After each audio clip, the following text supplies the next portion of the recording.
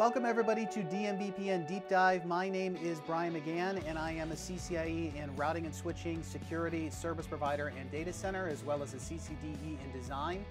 For any questions on this series, you can email me at bmcgann at ine.com. Follow me on Twitter at Brian McGann or on linkedin.com slash in slash bmcgann.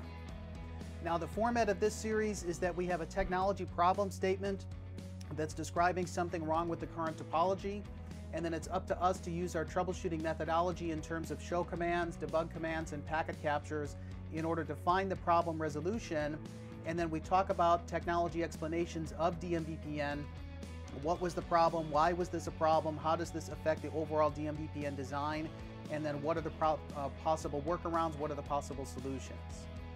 So we have a sample DMVPN problem statement says that router 1 is unable to reach routes behind the DMVPN hub, router 5 find the problem and modify the network so that router 1 has reachability to the DMVPN hub and the other spokes. So the idea is that the questions are fairly vague to not give away too many hints as to what's going on in the topology.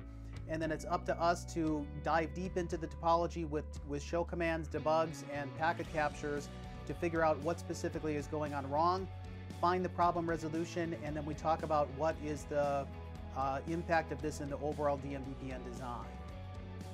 So I hope everyone enjoys DMVPN Deep Dive.